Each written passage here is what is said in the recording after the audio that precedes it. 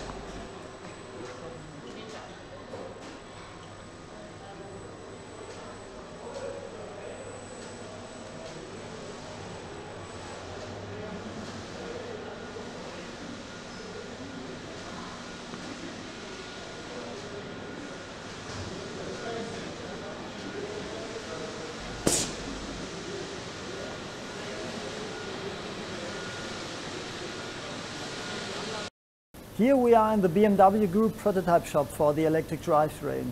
There is where our experts develop the production technology of the future. For example, at the moment, the electric machine and the high voltage battery. Now we are working on our fifth generation of the electric powertrain, which will reach the market in 2021 with the iNEXT. With nine electrified models in the range, we have currently the largest global market share. One of the key factors for this success is the in-house competence for development and production of electric components. Our in-house expertise is the basis for the realization of product innovation and secures our competitiveness. In 2025, we expect a range of electrified vehicles up to 25% of our total sales. Therefore, the industrialization of new production technologies is a key also from an economical point of view. The high voltage battery of our fifth generation is made of several battery modules and these are made of a lot of battery cells. The high voltage battery itself is another modular component which allows the integration into different models and plans. In the newest generation, on the one hand, we increase the battery energy level and the vehicle range, and on the other hand, we reduce the space requirements. In our future drivetrain, we combine three components. The power electronics, the transmission and the electric motor into one unit. The new drivetrain will be lighter and more compact than the predecessor. They will offer the customer more driving range and a higher top speed. The modular structure of our electric drives allows us to deliver exactly the performance our customers requires, from entry level to top of the range. For our next generation of electric motors, we focus also on sustainability. We avoid using rare earth materials and are using recycled aluminium.